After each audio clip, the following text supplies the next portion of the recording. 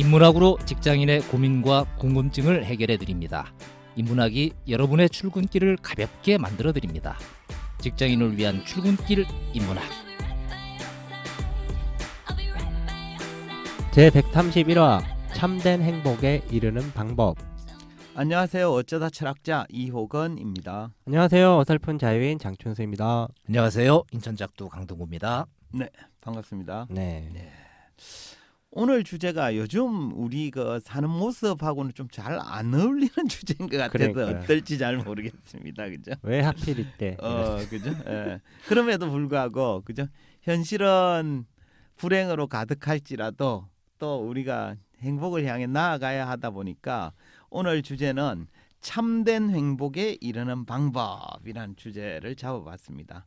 우리 행복이라는 주제는 꽤 많이 다루긴 했습니다. 근데 이 인문학 이 특히 철학이 인간의 삶을 추구하는 거다 보니까 이 행복이라는 주제는 사실 뭐 여러 번 다뤄야 될 주제이기도 하고 빠질 수 없는 주제죠, 그죠? 그래서 이런 얘기를 또 한번 해보겠습니다. 전에도 비슷하게 물어본 것 같긴 한데 또 이게 무- 물어볼 때마다 답변이 달라질 수 있으니 또 묻겠습니다. 살면서 최고 행복했던 순간 언제였습니까, 두 분은? 매번 우리 이거 녹음하고 할 때마다 좋기도 하고 안 좋기도 하고 이런 게 질문을 받았을 때 답변이 참 어렵다. 아, 이-? 생각이 예. 드는데 제일 어려운 질문 중에 하나가 아? 또 아. 이런 질문 예, 아닌가 싶은 오케이. 게 좋- 지금 물어보시니까 갑자기 저는 또 들어오는 게 막 올림픽 스포츠 같은 경우에 금메달 딴 사람이 예. 눈물을 쫙 흘려 예, 예. 국기에 대한 경례하고 음. 막 이- 이러면서 그걸 보면 나도 모르게 나도 눈물이 쫙 나. 예. 그런 삶의 이벤트가 있는 사람이 있고 예, 예. 어제도 오늘도 내일도 비슷비슷한 인생을 예. 살아가는 사람도 예, 있어. 예, 라이프 이벤트가 사실은 별로 예. 없어. 예, 예. 그러니까 너 진짜 최고 행복한 때가 언제야? 예. 이러면 저 스포츠인이 아니어서 예, 대답하기가 그죠. 참 힘들어. 그렇죠, 그죠? 예. 너무 목표가 크셔서 그런 것 같아요. 뭐 금메달 따야만 행복한 건 음. 아니. 자유님은 언제? 아 저는 생각해 보니까 뭐 순간순간 아 참 행복하다 이랬던 순간들이 많긴 했을 텐데 질문이 이제 최고로 행복했던 순간 이렇게 하니까 갑자기 확 떠오를 때가 언제냐면 제대하고 집에 갈 때 어, 제, 어, 그것도 그죠? 제대하고 어. 집에 갈때 어. 막 뭐든지 할 수 있을 아, 것 아, 같고 아, 막 이런 그죠? 어. 막 충만한 느낌으로 집에 갔었던 기억이 막 네, 우생순, 와. 그죠? 예, 그죠? 근데 이제 요렇게 한번 물어볼게요. 내가 요걸 가지면 요걸 이루면 행복할 거다라고 생각을 해서 열심히 노력해서 그걸 얻었어. 근데 막상 그걸 얻, 얻고 났더니 생각만큼 행복하지 않더라. 이런 경험은 혹시 있으신가요? 저는 사실 노력해서 얻은 건 아니지만 예. 좀 전에 했던 답이랑 비슷한데 네. 제대하면 엄청 뭘 잘할 수 어, 있을? 줄 알았는데 막상 제대해 보니 별거 없고 그쵸? IMF 아. 터져갖고 알바 자리도 없고 이래갖고 아, 그죠? 어. 힘들었었던 음. 뭐 이런 나만은 이런 모든 인간의 속성 아닐까 음. 싶은데 간절했다 하더라도 예. 뭔가를 성취했어. 예. 기쁜데 하루 만에 끝나는 것도 있고 어. 어, 한 1년 가는 것도 예, 있고 예, 그렇죠. 이게 오래 지금까지 와? 예. 이거는 그렇죠. 근데 사실 제가 이 질문이 되게 특이한 케이스일 것 같지만 안 그래요.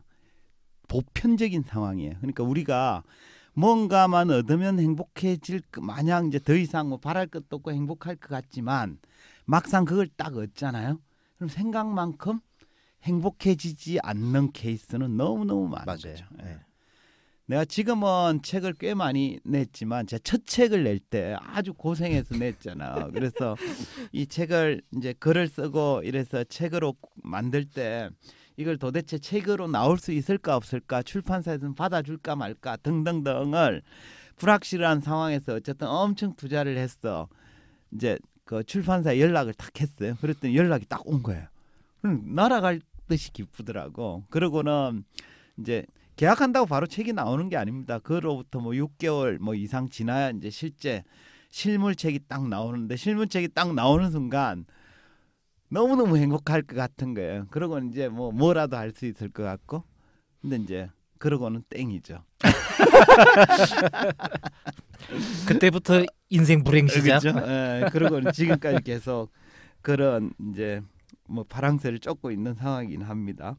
어쨌든 이렇게 우리가 누구나 행복을 추구하지만 그 좀 일시적으로 행복하다는 느낌만 있지 참된 행복에는 이르지는 못하는 것 같아요. 그래서 오늘 주제를 이렇게 한번 잡아봤습니다. 그래서 오늘은 어떻게 하면 참된 행복을 에 이룰 수 있을지 참된 행복이란 주제로 인문학적 논의를 좀 해볼까 합니다. 뭐 알다시피 인간은 기본적으로 행복을 추구하는 존재죠. 그죠? 우리가 살면서 얻을 수 있는 최종적인 목, 목표가 행복이기 때문입니다.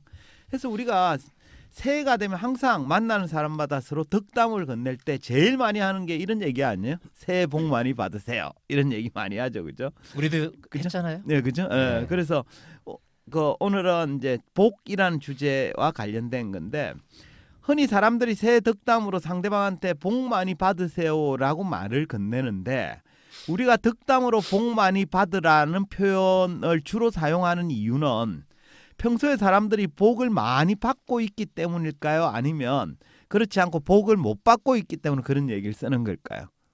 대부분 못 받고 있다고 생각하니까 그죠? 올해라도 이번에라도 좀 복좀 받아라. 뭐 그죠? 예, 맞습니다. 우리가 논리적이고 이성적으로 따져 보면 복 많이 받으라는 말 속에는 상대가 평소에 복을 받지 못하고 있다라는 전제가 들어 있는 거예요. 평소에 복이 넘치는 사람한테는 굳이 복 많이 받으라는 덕담을 건넬 필요가 없거든요. 가령 우리가 기혼자한테 새해는 좋은 배필 만나서 결혼을 하라라고 얘기 안 하잖아요. 그죠? 또 이미 취직해서 직장 다니고 있는 사람한테는 새해는 좋은데 취직하라라고 말을 하지 않거든요. 그렇지 않습니까? 그래서 저는 이 새해 인사할 때 네. 문자 보내고 할때 네. 조사에 약간 신경이 쓰이더라고요. 그러니까 예를 들어서 새해에는 건강하시고 돈도 많이 버시고 뭐 이런 얘기를 할수 네. 있잖아요. 그럼 옛날에는 못했다는 네. 뜻이야? 뭐 이런 거니까. 그래서 올해도 항상 뭐 그러니까 올해도 항상 네. 이렇게 올해도 항상 뭐 평안하시고 예, 뭐 이렇게 그렇죠. 하는 어. 도와 는이 네. 좀 차이가 있는 예, 것 같더라고요. 어, 그것도 네. 뭐 나쁘지 않네요. 그래서 우리가 결혼하라 취직하라라는 말은 결혼이나 취업을 하지 못한 사람에게만 건넬 수 있는 덕담이죠. 같은 원리로 생각해 보면 새해 복 많이 받으세요라는 말은 평소에 복을 받지 못하는 사람에게 건네는 덕담이어야 합니다.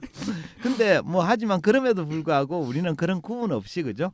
만나는 사람마다 새해가 되면 습관적으로 새해 복 많이 받으세요라는 인사를 건넵니다.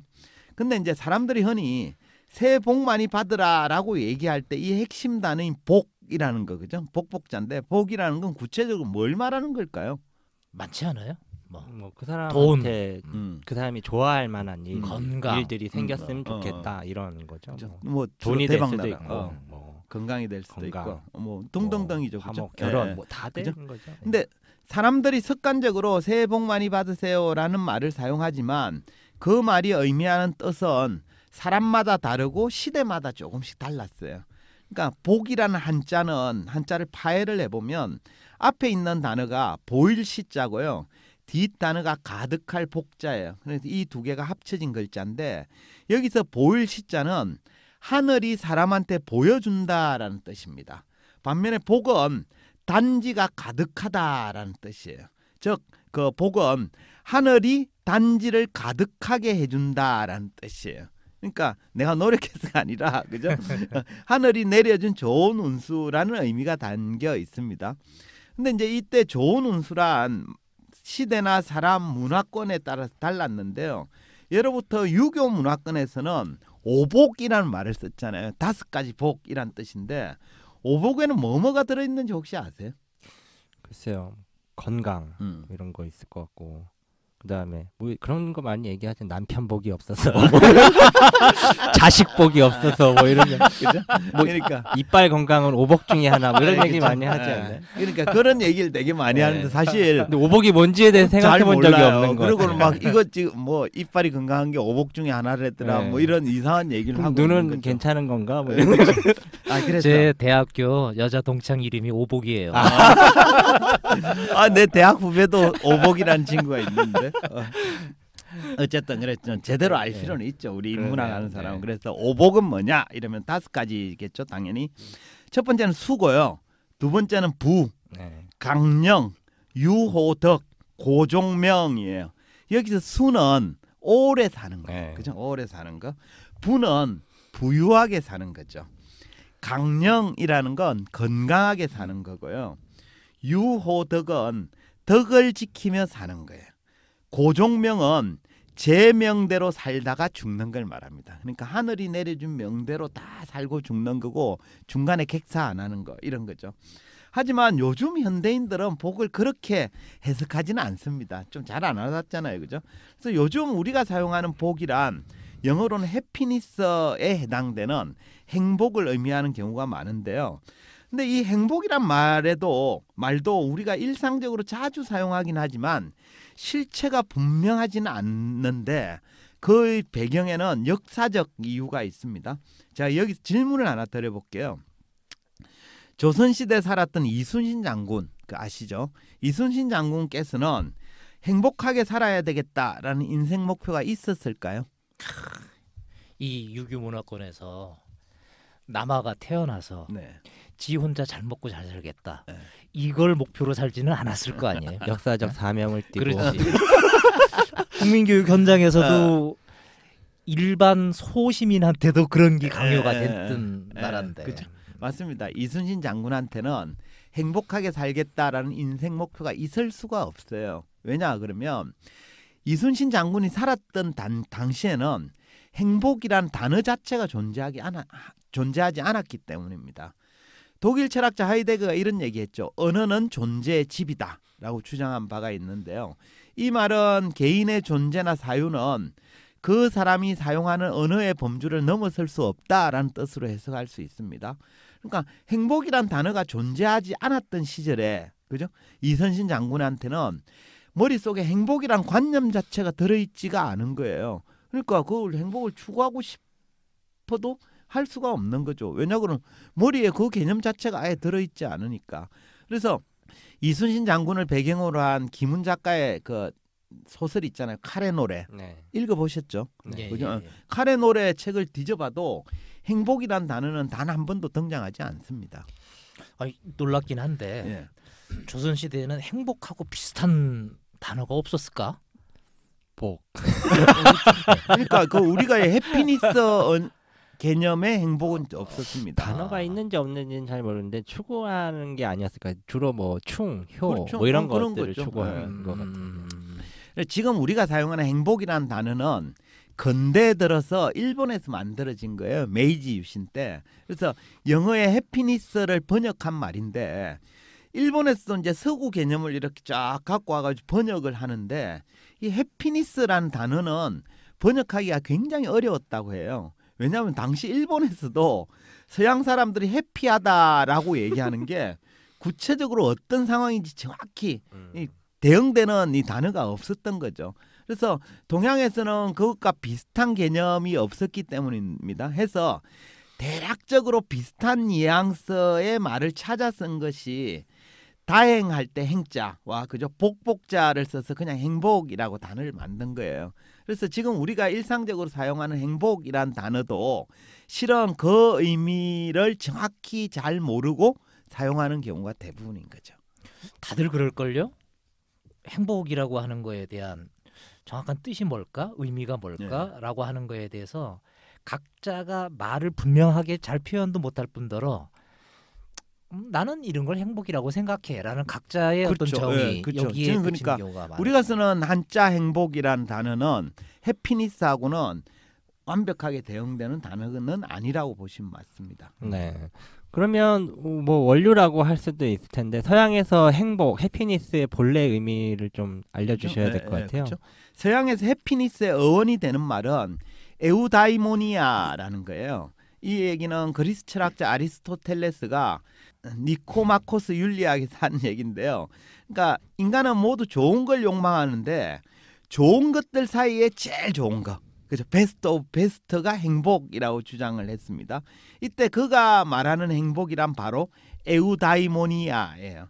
그러니까 아리스토텔레스가 보기에 사람들은 대부분 뭐 많은 재산을 원하고 높은 지위를 원하고 권력을 원하고 명예를 원하고 이른바 좋은 것들을 욕망을 하는데 이들 사이에도 서로 수단과 목적의 관계가 있더라는 거예요. 그래서 이 모든 좋은 것들을 쫙 모아 보니까 그 모아진 좋은 것들 중에 최종 목표가 행복이라는 거예요. 결국 우리가 돈이나 쾌락이나 권력이나 명예 등 이거 다 사람들이 추구하는 좋은 것들이잖아요. 그죠? 근데 이런 것들은 행복에 이르기 위한 수단에 불과한 거고 행복이라는 게 최종 목적이라는 겁니다. 그래서 결국 행복이란 사람들이 추구하는 좋은 것들 중에 최상의 것인데 이걸 일컬어서 에우다이모니아라고 불렀고 이 말이 이제 나중에 영어인 해피니스로 옮겨진 거예요. 이해 가시나요? 그죠? 네. 뭐 어떤 것들도 결국에 궁극적으로는 행복하기 위해서 한다. 뭐 이런 예, 거? 아닌가요? 예. 결국엔 가장 좋은 게 행복이다. 아, 뭐 그쵸. 이런 얘기. 이렇게 네. 이해해도 최고 돼? 신급인 거죠. 이렇게 이해해도 되나? 아, 뭔가를 갖거나 성취하거나 이루거나 얻었거나 라는 것들이 다 수단이잖아요. 어, 그렇죠. 그거를 가짐으로 해서 그래서 그걸 한 단계 더 뛰어넘는 기쁨 예. 이런 게 행복인 건가? 그렇죠. 그러니까 음. 행복은 그 기쁨도 어쨌든 궁극적으로 맨 끝에 추구하는 최종적인 이런 거지요. 예.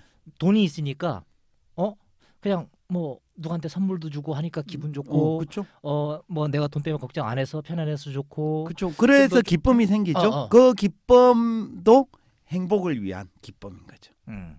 궁극적으로는 어쨌든 맨 뒤에 있는 종속 음. 변수가 이게 이, 이. 돈이라고 하는 거 때문에 더 좋게 할 수 있는 것들이 행복일 수 있는 건 예, 그렇죠. 거지. 돈은 그러니까 수단에 불과하다는 거예요. 그러니까 중간 과정에. 음, 예. 제가 이해하는 건 그런 거예요. 다양한 행위들이 있는데 그걸 왜 하는 거야? 왜 하는 거야? 왜 하는 거야? 음, 찾아가다 음, 보면 음, 맨 모든. 모든 활동의 정점에는 피라미드의 끝에는 행복이 있다. 뭐 이러는 네, 거더라고요. 맞습니다. 그 정확히 이해하신 네. 거예요.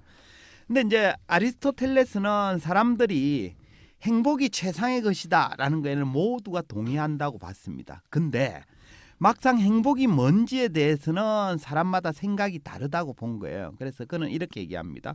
그러나 행복이 무엇인지에 대해서는 논란이 있으며 대중과 지혜로운 사람들이 동일한 답을 내놓은 것은 아니다. 아리스토텔레스가 보기에 사람들이 행복이 좋은 거라는 점에는 모두가 공감을 하지만 막상 행복한 상태가 어떤 것이냐에 대해서는 대중들과 지혜로운 사람의 생각이 다르다는 입장입니다.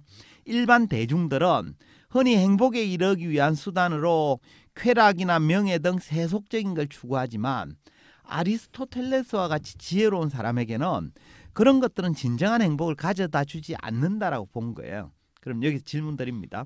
일반 대중들과 달리 지혜로운 사람들이 추구하는 행복은 구체적으로 뭘까요?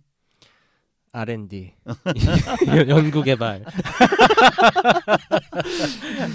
그런 거 아니에요? 아, 아리스토텔레스는 정신적인 면을 중요시 아, 중요하게 생각했습니다. 그래서 그는 행복을 이렇게 정의합니다. 탁월성을 실현하기 위한 영혼의 활동. 영혼이 정신이죠. 그러니까 탁월성을 실현하기 위한 정신의 활동이라고 정의했는데요. 그에 따른 모든 인간이나 사물은 각자 고유한 기능이 있는데 이 기능이 잘 실현될 때 최선의 상태에 이른다는 입장입니다.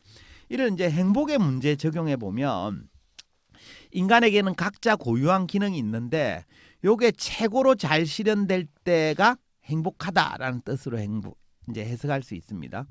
가령 학생이라면 최고의 기능이 잘 실현된 상태는 어떤 경우일까요?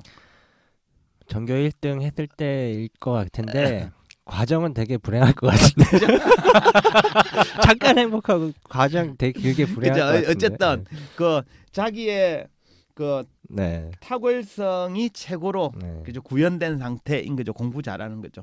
그래서 아리스토텔레스의 관점으로 해석하면 공부를 잘하는 학생은 자기의 고유한 기능이 탁월하게 발휘되고 있기 때문에 행복한 상태라는 거예요. 이처럼 각자가 가진 고유한 기능의 탁월성을 그리스인들은 아레테라고 불렀습니다. 결국 아레테는 각자가 가진 고유한 기능이 잘 실현되게 하는 것인데 요게 잘 발휘되는 상태가 행복이라는 거예요. 아 이게 좀 헷갈리는데 여기에서의 기능이라고 하는 거의 의미가 역할이라고 해도 되나요? 어, 뭐 역할도 그 기능 중에 하나일 수 있죠. 예를 들면 음. 예를 들면 내가 군인이에요. 예. 군인인데 내가 노력을 막 해가지고 제일 강한 군인이 됐어. 그럼 내 기능이 최대한 발현이 되어서 뭐 국가와 민족을 위하고 뭐 이런 것들이 될 수 있는 거죠.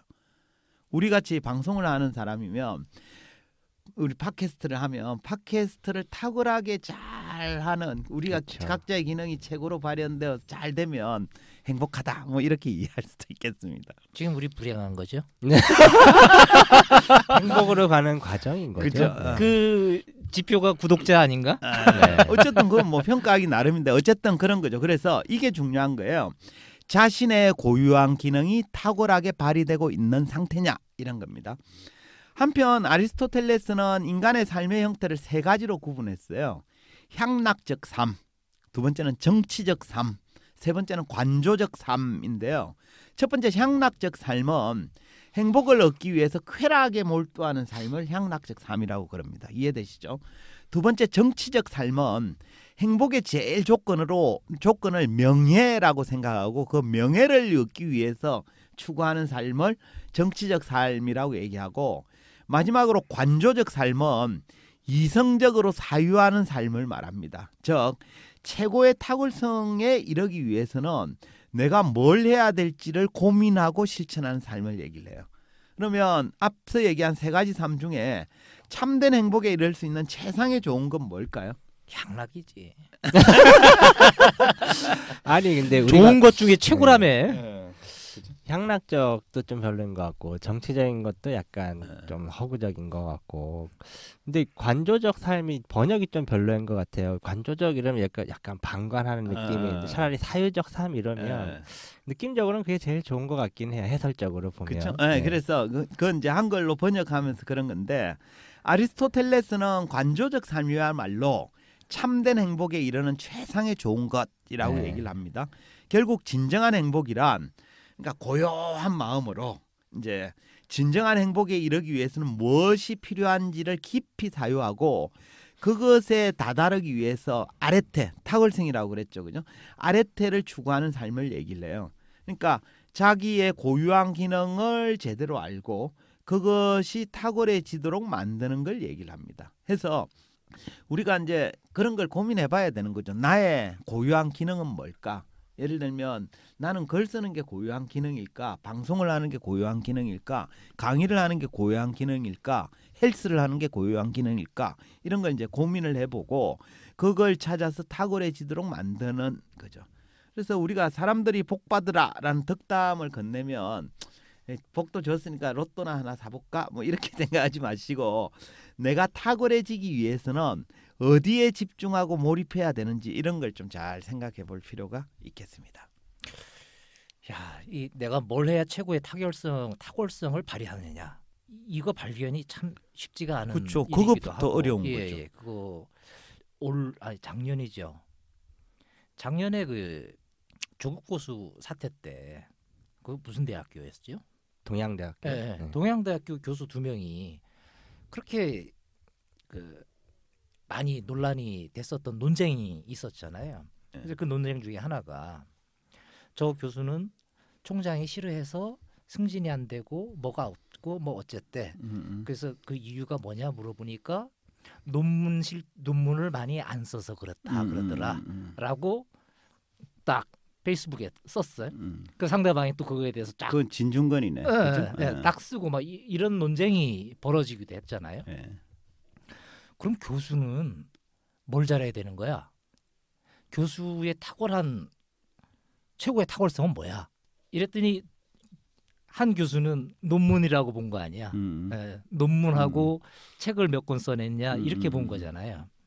그래서 이렇게 뭐 하나를 제대로 이렇게 평가할 때도 판단하는 잣대를 만들기도 어렵고 음, 자기 스스로도 최고의 탁월성을 발휘하는 게 뭐냐라는 것도 잘 찾기가 음, 음. 쉽지가 않은 그런 어려움이 좀 존재하네. 그렇죠. 지금 말- 말씀하신 건 그 이제 교수끼리 논쟁을 하면서 교수가 제대로 게- 된 교수는 뭘 가지고 평가할 거냐, 뭐 탁월성의 논쟁이라고 볼 수 있는데 그건 모든 사람이 같지 않아요. 각자의 교수마다 자기 스스로의 기능이 뭔지를 고려를 하고 그거에 따라 추구를 하는 거죠. 그 남이 뭐 내가 추구한 걸 추구하는 거와 다른 뭔가 잣대를 들이대고는 옳대 맞네는 뭐 논쟁은 할 수 있으나 그건 뭐 별 중요시하지 않은 것 같아요. 각자가 그거를 발견해 나가는 게 굉장히 어렵습니다. 그래서 관조적 삶이 필요한 거예요. 내가 고요한 마음으로 내가 추구하는 진정한 행복은 어떤 과정을 거쳐서 가야 될지를 깊이 고민하고 거기에 매진해야 나중에 그 행복에 이를 수 있는 거죠. 그래서 그 결실을 너무 빨리 따는 건 대부분은 그 뭐라고 그럴까요? 뭐 쾌락적 삶이나 뭐 이런 그죠. 그래서 관조적 삶이라고 보기 어렵습니다.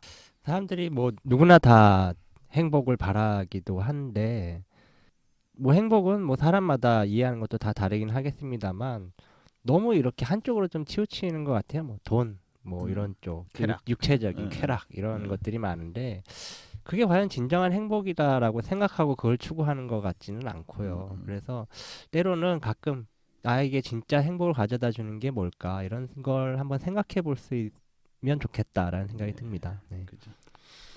그 지금 정확히 기억이 잘 안 나는데 알랭 바디우라는 철학자가 진정한 행복이 뭐냐라고 얘기를 할 때 현재 상태가 아니라 지금보다 더 나은 단계로 자기를 뛰어넘는 과정에서 느끼는 기쁨 이게 이제 최고의 단계라는 거죠. 근데 그건 자기 단계에 머물면서 얻는 사소한 만족감 을 겪는 사람은 어느 누구도 경험하지 못하는 단계의 수준이라는 거죠. 제가 그건 다음번에 바디우의 행복론을 가지고 한번 논의를 다시 한번 할 텐데요. 어쨌든 요게 그게 제가 비슷한 건지 모르겠는데 앤드루 와일즈라고 하는 사람 수학자죠.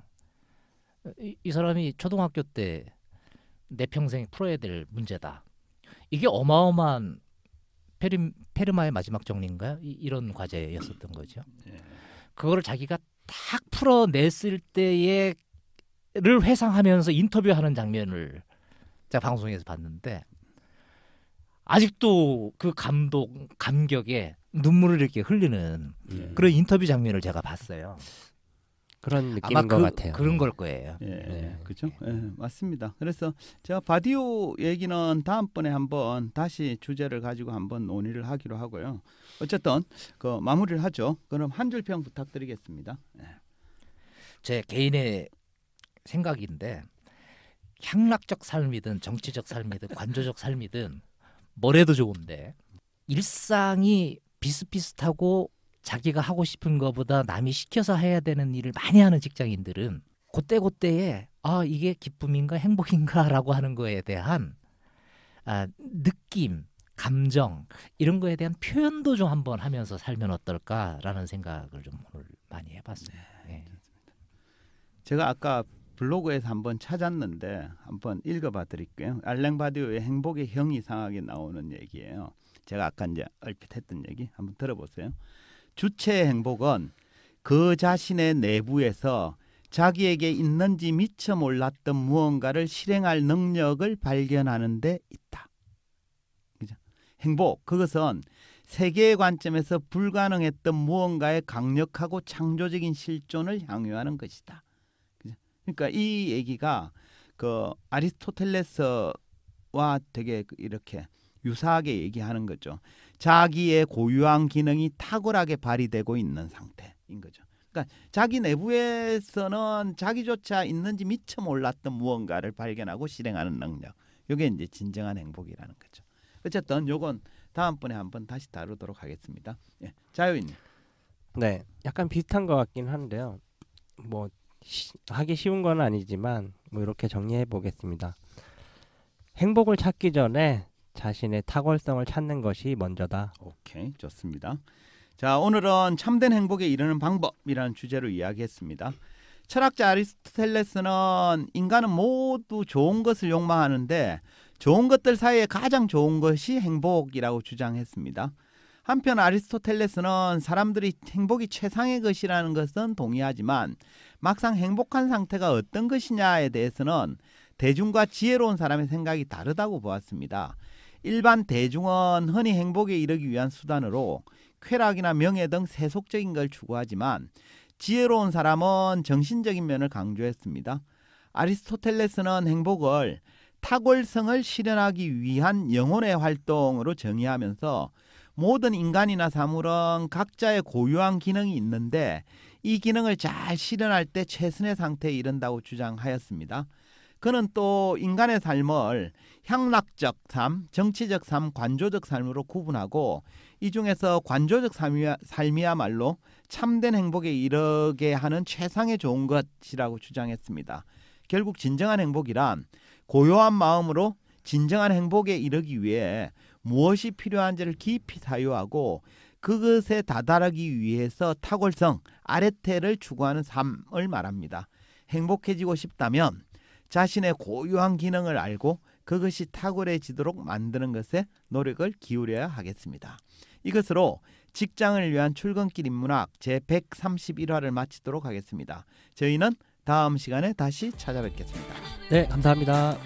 아 근데 저한테 관조적 삶의 기능이 없나 봐. 감사합니다. 감사합니다.